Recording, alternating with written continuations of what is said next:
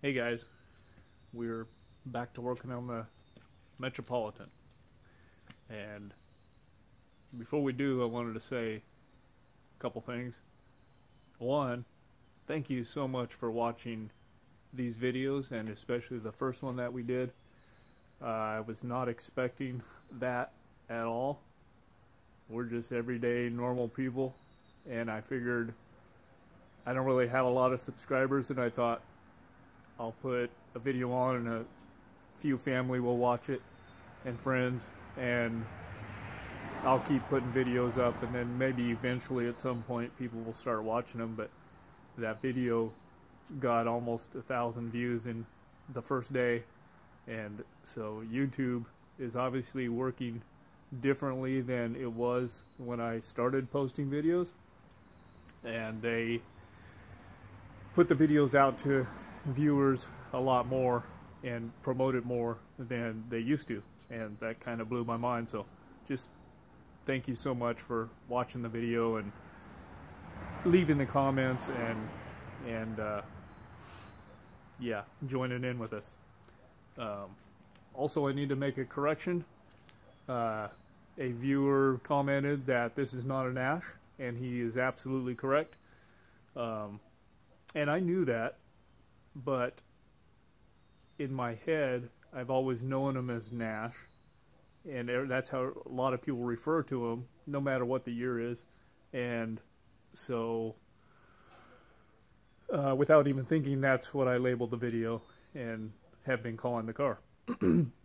but the truth is that Nash sold out at some point in the 50s uh, to, I believe, Hudson, and then they built some, and then um, Austin, I think it was Austin Motor Company, could be incorrect on that, uh, built some, and then American Motor Company also built some.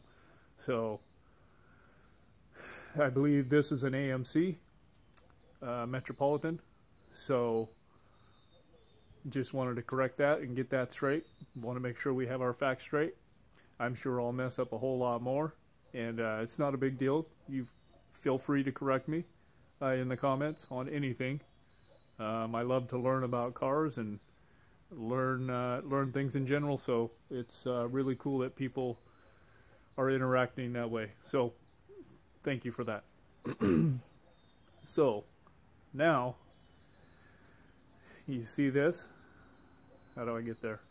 That's a brand new battery for this car. So we're going to throw that in and then we're going to start doing some troubleshooting. Um, like I put in the last video, somebody has tinkered with this car and there are two ignitions in there for some reason. Um, the original ignition was an ignition and the light switch combo. It looks like some wires have been pulled off of there, probably for the actual starter, and put onto another ignition. Um, I'm not sure. I was looking through my service manual and in there it showed the the ignition with fuses on the back side of it. And I've looked at this one. I didn't see fuses but I didn't look real close either. So anyway we're gonna dig into that in this video and see if we can get this thing to turn over. I have turned the car over with my remote starter switch um, but that's that's all I've done um, I oiled, it, oiled up the cylinders first, made sure those were good. Um, I'll probably pull the valve cover and just make sure everything's oiled up there. I don't want to turn this engine over too much without lubrication in there. Um, but I do want to get this thing to fire. I'm excited to do that. So got to get a little bit of wiring straightened out and uh, and then we can go from there.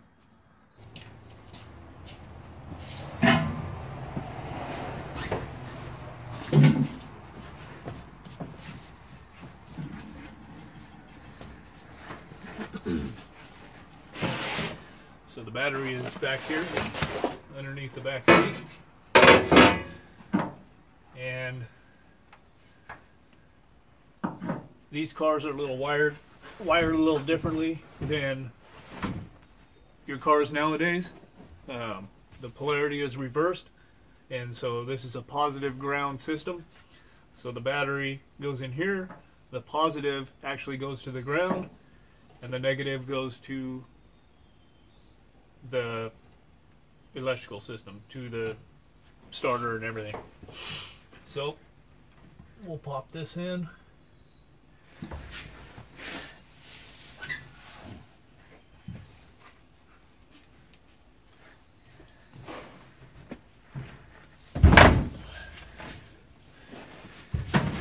hopefully this fits. The battery I took out of here, this car sat for so long that the battery I took out of here was from August of 1971. So I didn't even turn that battery in for a core. I'm just keeping that as a souvenir. That battery is older than I am. Thought that was pretty cool.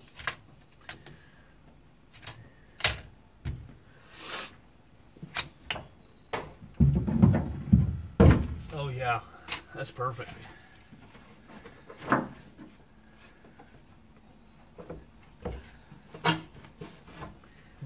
We'll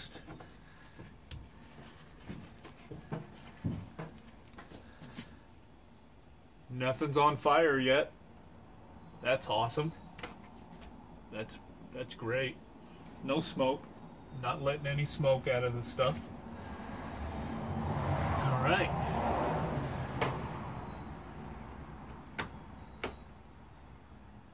Headlights work.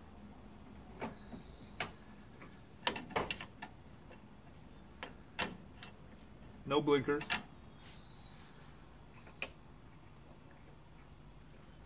Ah, I was really hoping the radio would work.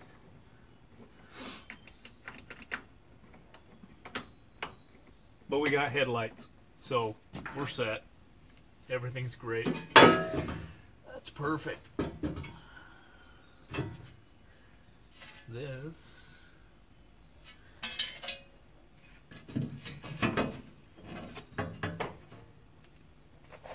job done. Let's give that a shot for now.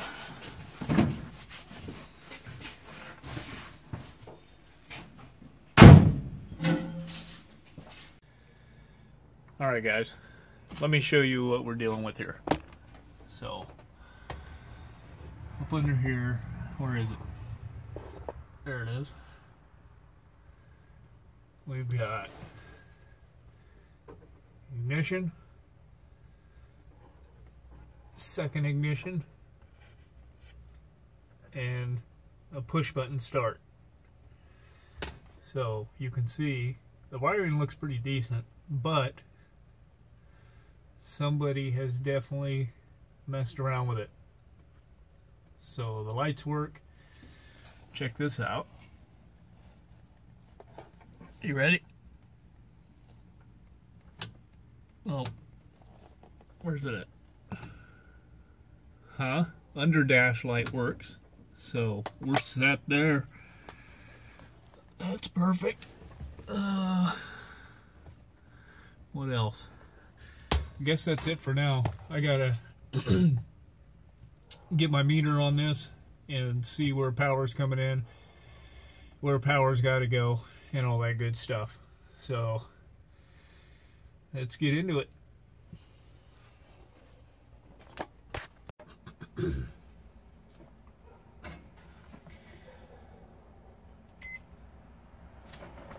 so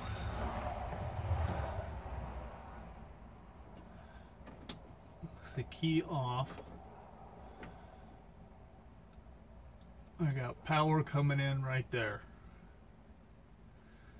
all right that goes into the harness. Got power there too. I have the lights on? Oh, I have the lights on. So power there.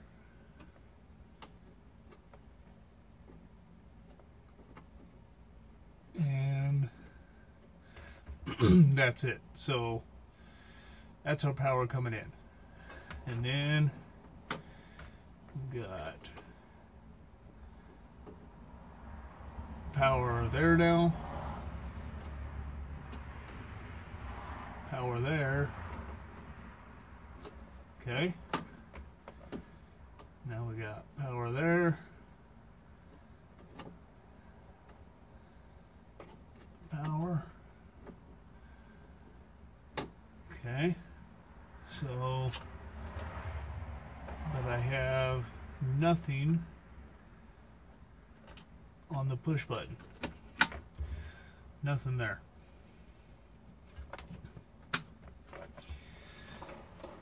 Um,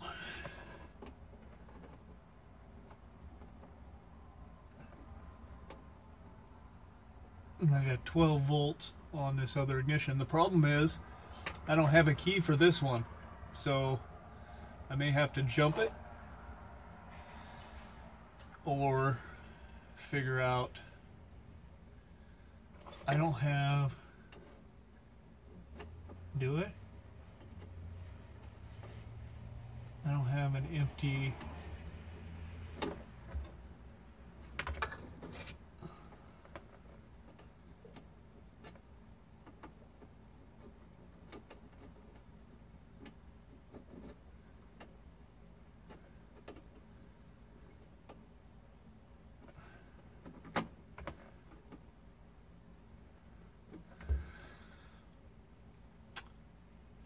could I try to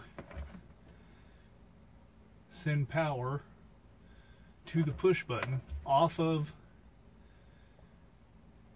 one of the hots for the lights and just combine it. I wonder. Hmm. If only I could get this other ignition. I'm going to see if I can find a key that'll fit that thing and turn it over. And then we'll know a little bit more.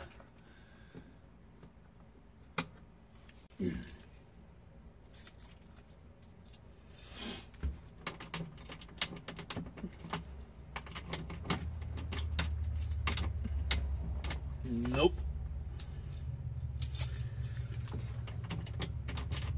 Nope.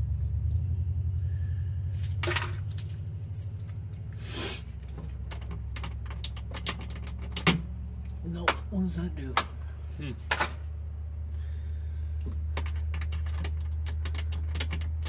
Nope.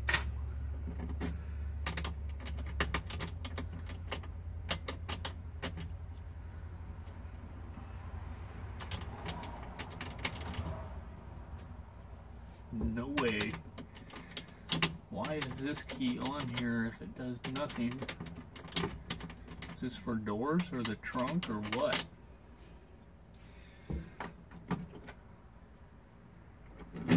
Hmm. Hmm. Well, part of the problem is I was trying to think. Earlier, I had said that my service manual showed fuses on the back of the ignition. Nah, not there. Here's what I was looking at. So I was looking at the ignition here, and I saw this, and I thought that was the back of the ignition for some reason. But that is actually in here, right there. Those fuses are good.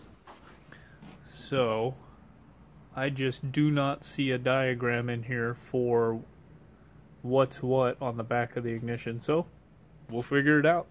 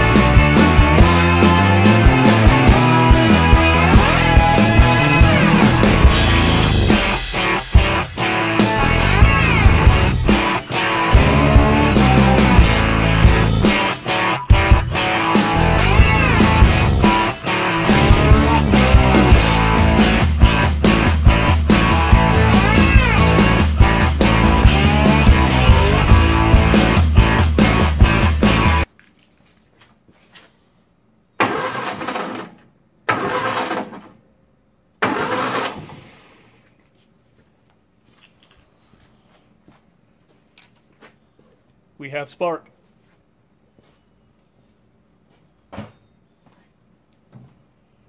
Yes. It's not right. Uh, there is something wrong with that ignition, which makes sense why they put a second one in. Um, but right now, I've jumpered power to the coil, and we have spark. So that is awesome. I'm excited. Yes.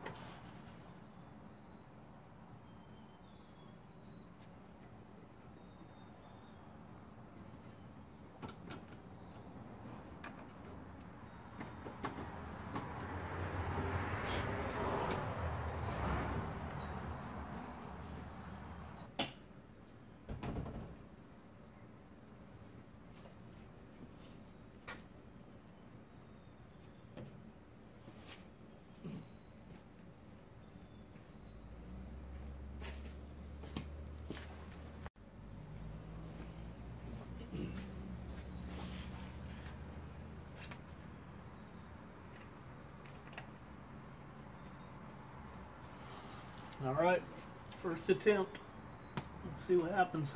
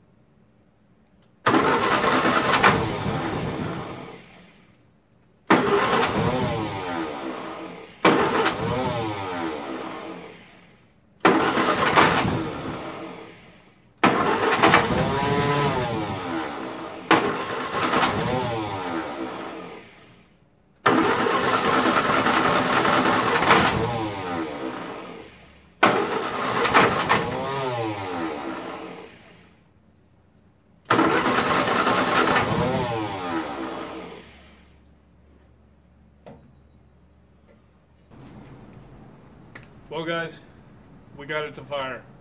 I am super pumped. I am so happy right now. So, I'm going to go ahead and order a rebuild kit for the carburetor if I can find one. And probably an ignition so I can wire it up properly. And uh, yeah, we're going to get this thing running. Got to show you guys this. Man, I completely forgot. I was to set a camera up back by the tailpipe. But that's what we got coming out of there. That may be part of the problem. Yep.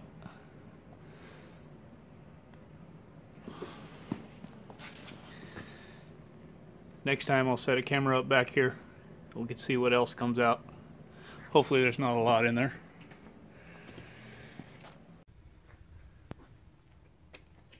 Feel like I cannot end this video without hearing this car run for at least a few seconds. We got it to fire, but I really want to hear it run at least just for a few seconds before I can end this video. So I'm going to clean the points. I'm going to see if I can fill the bowl of the carburetor with some fuel um, and see what we can do. I'd really like to see if this car will run for a few seconds after sitting for almost 50 years without doing too much work to it. I'm just really curious to find that out. So let's see what we can do.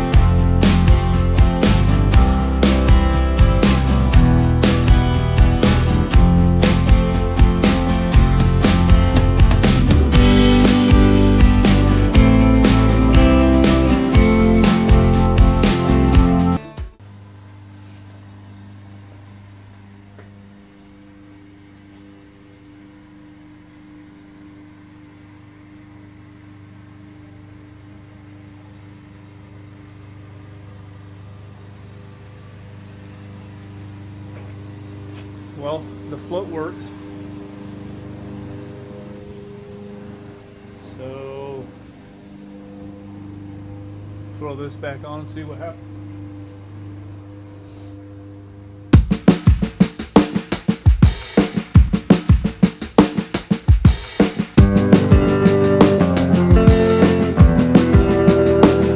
claim to be a smart man and I never plan to and if I ever do pretend to be, go ahead and set me straight on that one.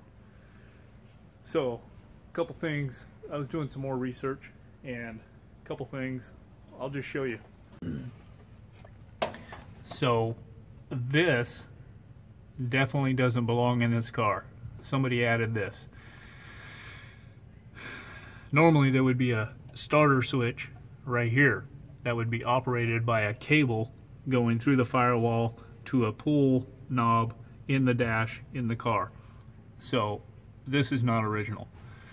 So I've got to order an original starter switch.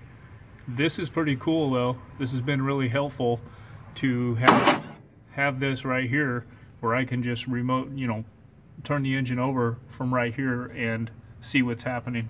So that's been cool, but need to swap that out.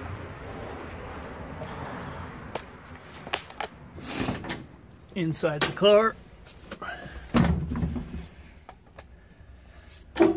This, huh, the horn works. First time I tried that. That's awesome. Um, this push button is not original. This is where the pull knob should be for the starter switch. This is original. I do have a new one. I want to pull this one out and just see if maybe I can figure it out and maybe fix it if there's anything wrong with it, but I do have a new one if needed. This is obviously not original, and this is going to come out. This is where the cigarette lighter would be, and so that's what we got to fix there. Put that back to being a cigarette lighter. So yeah, just wanted to show that. I I had no idea when I got into this car, you know, what's what. I've never worked on one, and so, yeah, I didn't know. Also, pretty impressed with this water temp gauge here. This little thing just clips on the bottom of the dash, and I don't know yet if these had water temp. They obviously didn't have a gauge, but did they have a dummy light? I don't know. But what's cool is that little gauge matches the font and color and everything of the speedometer pretty closely. I mean, it's a it's a great match. So hopefully that works and we can keep it in the car.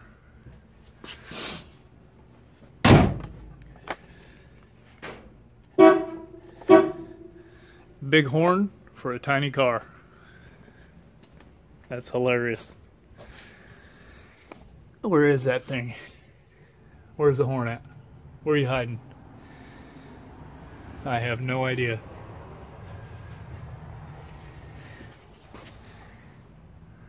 Is that it? Oh, look at this. Right there. Right there. Dual horns. That is so cool. I love it. There it is. There it is. Looks like that one was maybe rattling on the fender. Somebody put a little piece of hose there to keep it from hitting. Awesome stuff. Really loving this car.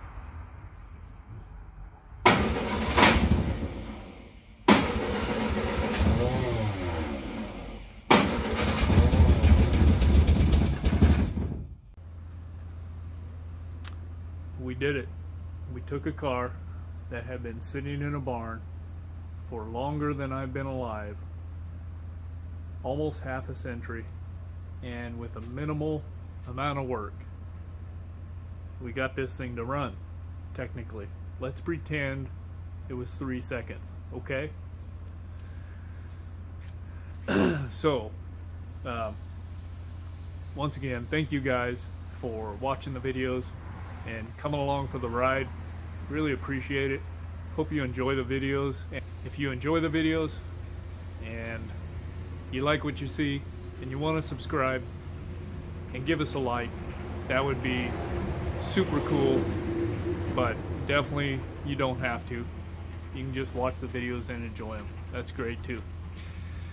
Um, so plans now from here. I'm going to end this video here, but for the next video, we've got to rebuild the carburetor, um, work with the ignition.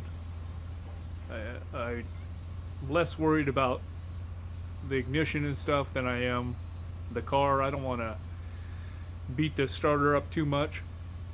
Um, so I want to rebuild the car, carb, and uh, see if we can get this thing to actually run for longer than the three seconds and uh, get it to warm up put some